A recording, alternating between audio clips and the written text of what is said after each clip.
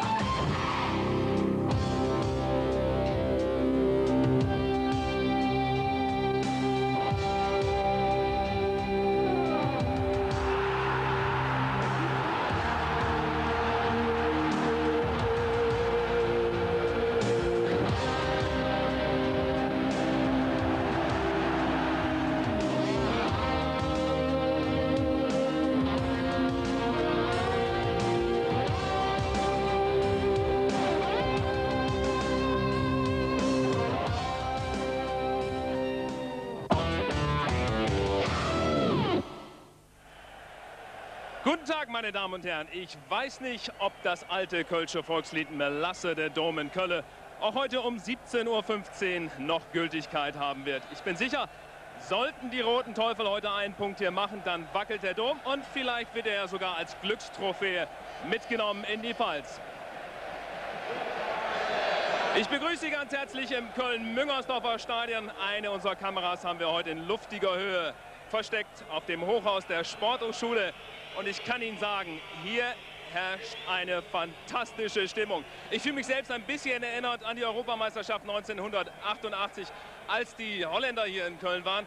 Und jetzt sind die Pfälzer da. 40.000. Sie alle waren heute Morgen schon auf der Domplatte zu finden, um hier ihren ersten FCK-Virus zu verbreiten. Und ich bin ganz sicher, unser Autor, der mit unterwegs war, Tom Teunissen, hat sich gerne anstecken lassen. Also ich möchte äh, noch jemand grüßen, einen ganz besonderen Freund von unserer Seite, der Stefan Effenberg. Er muss nicht traurig sein, aber leider wird Laudern Meister heute, ne? da muss er sich mit abfinden. Der aktuelle innerdeutsche Nationalitätenkonflikt ist für heute aus dem Süden an den Rhein verlegt. Die neue Pfälzer Hymne.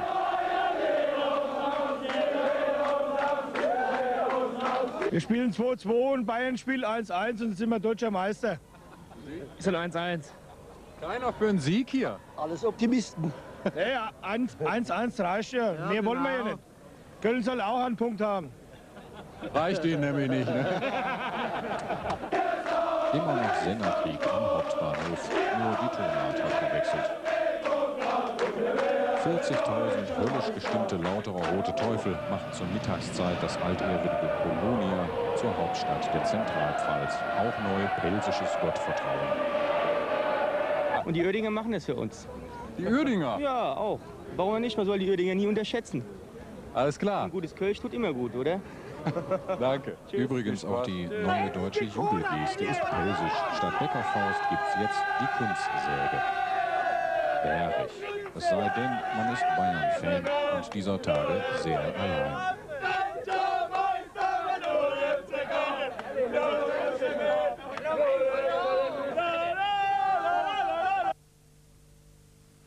So, liebe Zuschauer, wir sind wieder in Köln-Müngersdorf und gerade haben wir die Mannschaftsausstellung bekommen und eine Riesenüberraschung. Weder Demir Hotic ist mit dabei, noch Bruno Labbadia. Bruno, warum spielen Sie nicht?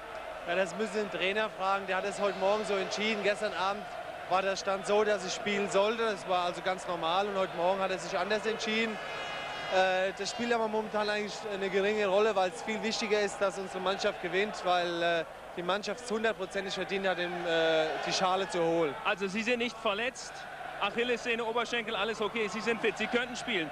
Irgendwo muss doch da der Grund liegen, atmosphärische Störungen. Das weiß ich nicht. Es gab im Vorfeld kleine Probleme, aber das war alles Mit nur wem? mit dem Rainer Geier, der sich sehr, sehr negativ geäußert hat. Und, Über Sie. Ja, über mich, vor allen Dingen in der Zeit, wo es äh, sehr kritisch war und wo ich äh, sowieso schon unter Druck stande. Und er hat halt die Mannschaft damit unter Druck gesetzt. Das war vor dem Bremer Spiel und seitdem ist es bei uns Funkstille. Und deswegen wollte ich eigentlich nicht auf das Schiff, wo heute die Meisterschaftsfeier abläuft. Und, aber wie gesagt, das ist alles Nebensache, denn wenn Sie sehen, was das hier für ein Publikum ist, und das Publikum, die Region und die Mannschaft haben es absolut verdient. Danke Bruno, vielleicht werden Sie ja später eingewechselt. So, Sie kennen das von letzter Woche, liebe Zuschauer. Da haben wir auch die Schaltung nach Nürnberg gemacht, um Sie ständig zu informieren, wie es dort bei Bayern München zur Stellung. Große Überraschung, Guido Hoffmann und Bernhard Winkler. Das sind die beiden Stürmer. Und jetzt äh, alles weitere von Ernst Huberti, denn ist, er ist Ihr Kommentator. Viel Spaß. Ja, guten Tag, meine Damen und Herren. Und da ist ja doch etwas in uns ein bisschen zerbrochen. Die heile Welt von Kaiserslautern. Wollte gerade sagen, ist das nicht schön, dass er der Mannschaft so wundervoll zusammenhält und jetzt scheint es ein bisschen zu knistern. Ich hoffe, das wird diesem Endspiel-Krimi keinen Abbruch tun. Berti Vogts hat ja gesagt, das finde ich ganz toll, mit dem Herzen sei er bei Kaiserslautern. Aber mit dem Verstand, da müsste er sich sagen, dass die Bayern Meister werden. Aber wie oft hat das Herz schon über den Verstand gesiegt. So, das ist das Spalier, also dass die beiden Mannschaften zu diesem Endspiel erwarten.